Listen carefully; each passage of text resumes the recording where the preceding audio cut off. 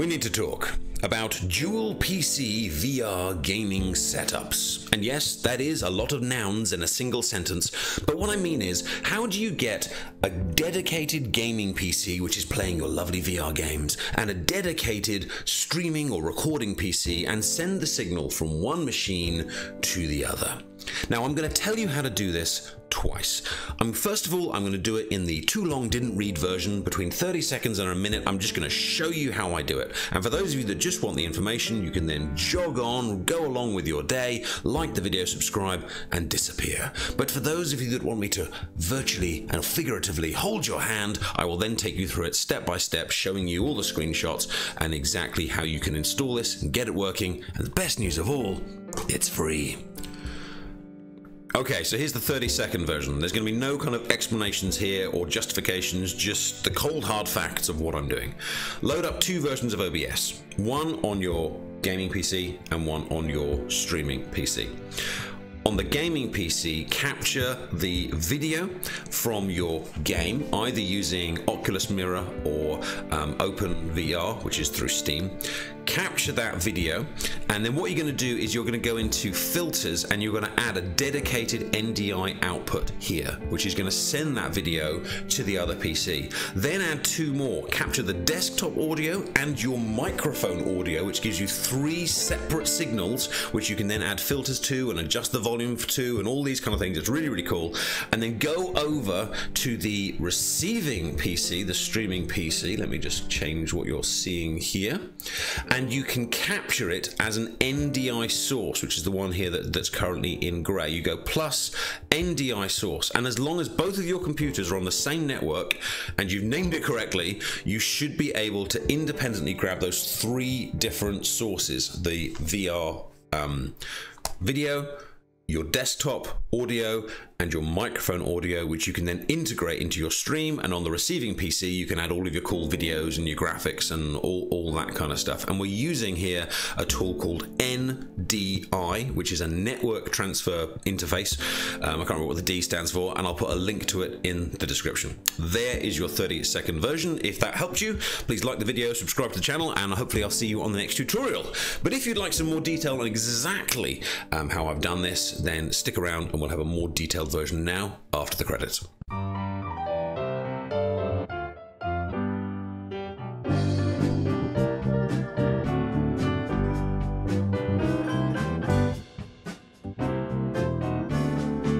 Okay, thank you for sticking around for the more detailed version. I'm going to put the uh, the headset down now, which might mean it'll shut itself off, and I'm going to go through. Um, I'm going to go through exactly why I use this method, and then I'm going to show you how I use it. So hopefully I'll kind of sell you on it. Um, so you could so when you capture pancake games, as you probably know, one of the best ways to do it is to use a physical cable that comes out of the gaming PC into your capture card on the second PC, and then normally with another cable, it goes off to your monitor so you can see it, or you can split the monitors.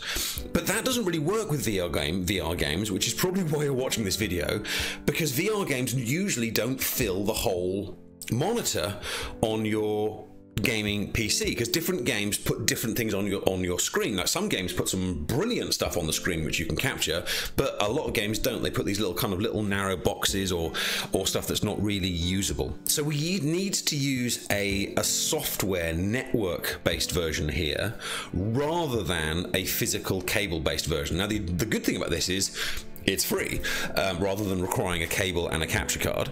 Um, but it is dependent on a little bit on the speed of your um, network for it to work but I, I've had no problems. You do need to have both of your PCs on the same network because I, I actually have my gaming PC on one and my streaming PC on another but you need them on both for this particular method to work. Um, I did read somewhere that it might be possible to use something like sub networks or sub routers or something like that but I didn't understand it. Um, so if you can help me with that that'll be great but for for ease of life put your PCs on the same network.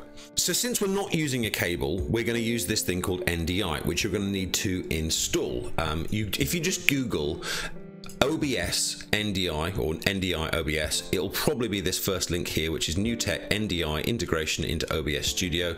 You come forward, you can see you can see the latest version here, which is 4.9.1. You click this go to download button, and at this point, if you don't know how to install something, then you need a lot of different tutorials. But there's a Windows installer here. This needs to be installed on both PCs, both PCs and you need to reboot the PCs after you've done it. And you'll know if it's worked because if you then reboot the PCs and turn on OBS, um, if you then go up to Tools, you should see NDI output settings here. And likewise, if you come into here, you should see plus NDI source. If for any reason those bits aren't appearing on both PCs, they haven't been installed correctly, um, in which case try and install them again or look for another guide to see what might have possibly have gone wrong. Now, if I come over to my gaming PC here. So I'll just kind of flip over here. So what you need to do on your gaming PC is capture is load up OBS. You need to get OBS on here. And you might be thinking, oh, I don't want OBS on here.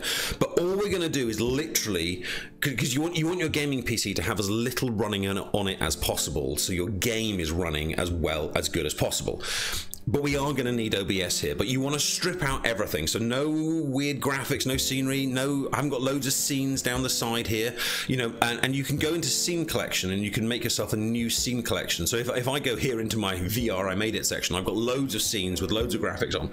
So I'm going to make a brand new scene collection and all I'm going to do is capture the game and send it to the other PC. And what you do is you capture the game. So I knew the VR headset would turn off at some point.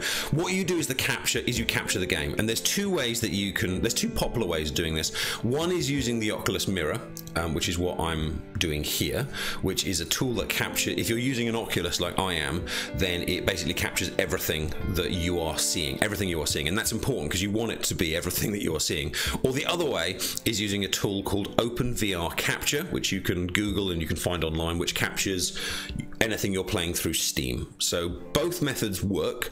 Um, I, I'm using the Oculus Mirror version. If you want an Oculus Mirror tutorial, let me know in the comments, and, I, and, I'll, and I, can, I can help you out with that.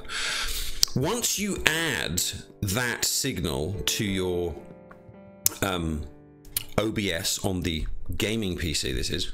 If, if at any point I get gaming and streaming PC confused, sorry, just try and work it out you go into filters, which feels really like um, counterintuitive to why do you go into filters, and you're going to add a filter called a dedicated NDI output. And what this is going to do is it's going to send that signal, that that that VR signal to the other PC in a way which you can then independently um, capture. Now, there's another way of doing it, which you, which you might see on other tutorials, which is up here. And if you go into Tools and you click NDI, NDI output settings, if you turn that on, it will send everything that this PC is seeing to the other computer, which is brilliant. And there'll be times when you want to do that.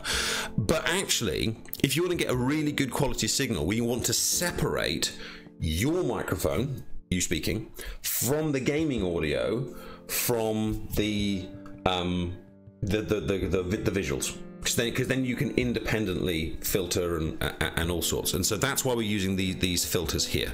So again if I go into filters on this open VR capture, you click um, dedicated NDI output, and to be honest, I'd leave that one called NDI, a dedicated NDI output. Then come over this side and give it a name which is really, really um, memorable that you'll recognize on the other PC. So, for example, here I'm, I'm, capturing the desktop here, and you can see I'm actually using NDI to capture the desktop here. I've gone go into filters, dedicated uh, dedicated NDI output, and I've called it NDI desktop. You know, maybe I should call it NDI desktop gaming PC or something like that. You know, just something really, really clear um, as as to what it is. Also, what I've done is when I'm capturing the microphone and the desktop audio, I've got again, I've gone into filters and I've added here a desktop audio um, output here. And again, I've given it a name and I've called it desktop audio NDI. And again, where and I can't show you this one because it's over on this other scene. And if I change the scene, you won't be able to see it. And again, when I'm capturing my microphone through the Oculus, there's one called I think it's called Oculus microphone or something like that. If you're using virtual desktop, which and this works with virtual desktop as well, then it's called virtual desktop microphone. Make a third um, end, dedicated NDI output that's capturing that microphone. So we're going to add. You're going to get those three sources and you're going to add those three dedicated outputs. Let's go across to the other PC, and I'm going to have to look this way to do that one.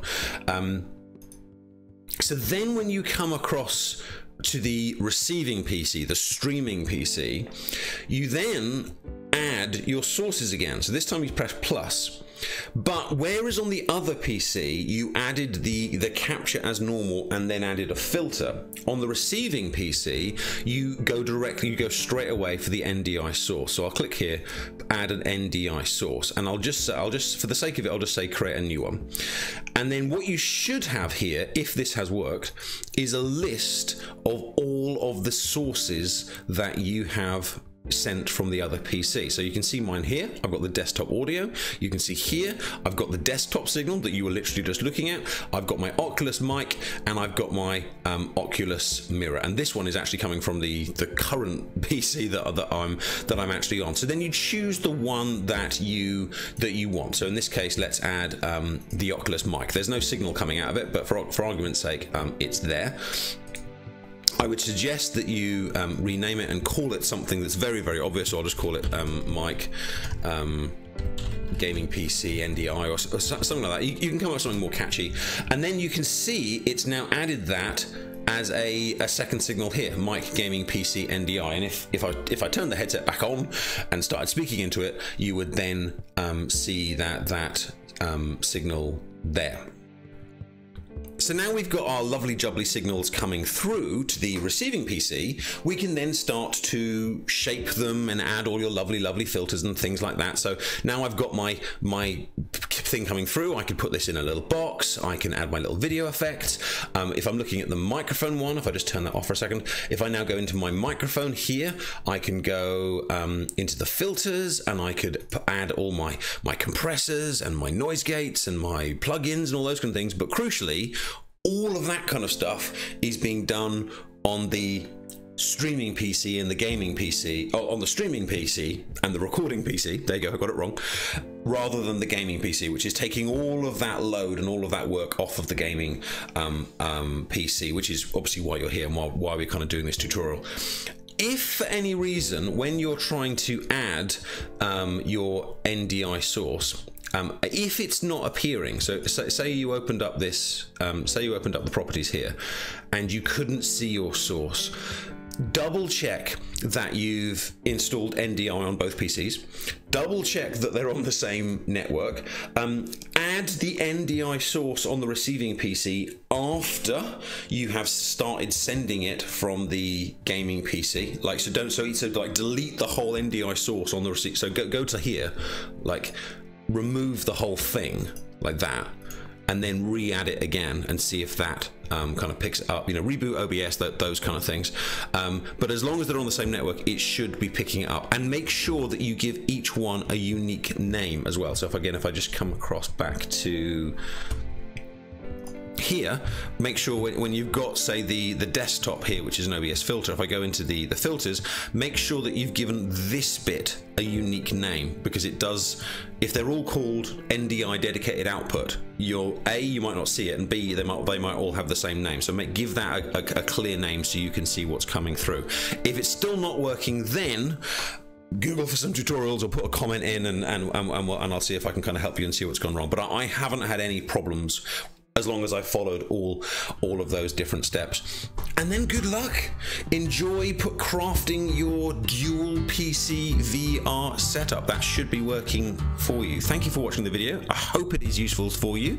Um, if you've got any questions, let me know. Um, please like the video, subscribe to the channel, all those kind of things. And if you want to see me playing games using my dual PC VR setup, then you can see that on my YouTube and over on my Twitch, which is twitch.tv slash the adipose TV. I hope your day is fantastic. You've been fantastic. You know what? So was I. Take care. Bye bye.